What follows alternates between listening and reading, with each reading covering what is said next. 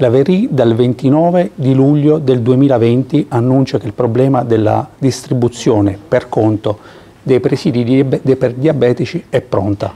Sono passati altri tre anni, tantissimi annunci, la verità è che la regione Abruzzo insieme alla Calabria e il Molise è l'unica regione d'Italia che non ha ancora questa possibilità per i pazienti diabetici e costringe tutti quanti loro a spostarsi dai comuni montani ogni 45 o 60 giorni per andare a ritirare nei presidi ospedalieri quello che serve per curare la loro malattia. Ma non è soltanto questo, è proprio il mondo della diabetologia che è in completo abbandono. La commissione diabetica che loro hanno istituito il 3 febbraio del 2020 non si è mai riunita dopo il Covid. Stessa cosa per la rete diabetologica, stessa cosa per il mancato rispetto di tutti quei medici, psicologi, podologi, dietisti che sono previsti dal PDTA approvato dalla Regione Abruzzo di centrosinistra nel 2016. Tutto in completo abbandono. L'assessore Verì fa un riferimento a una delibera, la numero 8 del 2023, dicendo che partirà un tavolo negoziale per, con le associazioni farmaceutiche per la distribuzione di presidi, ma in realtà questa delibera fa seguito a un grande, profondo rimbrotto da parte di AIFA alla Regione Abruzzo che ha uno scostamento, cioè soldi in più spesi per quanto riguarda eh, i presidi medici di 86 milioni di euro solo nel 2021 e il trend è uguale anche per il 2022. La diabetologia di Pescara è stata spostata, in realtà ha compiuto 30 anni qualche giorno fa, ringraziamo naturalmente i medici e il personale che da tempo si occupa di questo settore, ma in 30 anni è stata spostata 5 volte e l'ultima volta è stata messa in via Rieti.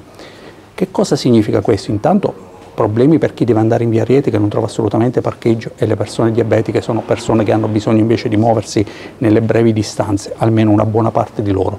Ma c'è un grande problema che riguarda la via, via Rieti.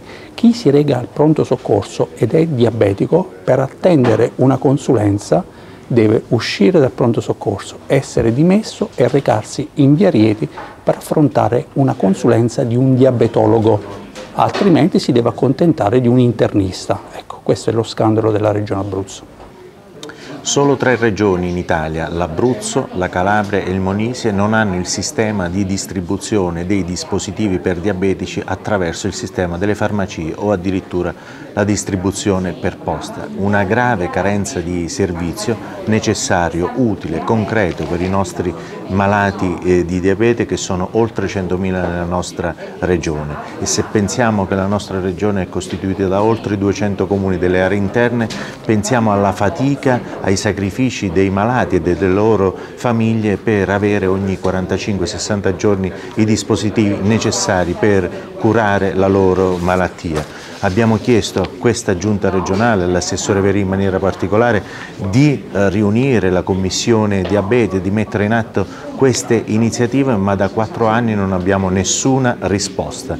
Insieme ai colleghi del gruppo del Partito Democratico abbiamo presentato due documenti in Consiglio regionale per sostenere con forza le associazioni di, eh, dei diabetici poiché davvero hanno una grande necessità di avere questo servizio. In più c'è una grave carenza di personale all'interno dei centri diabetici nostre, della nostra regione, delle nostre ASL e per questa ragione chiediamo con forza la distribuzione dei dispositivi attraverso la rete delle farmacie nella nostra regione.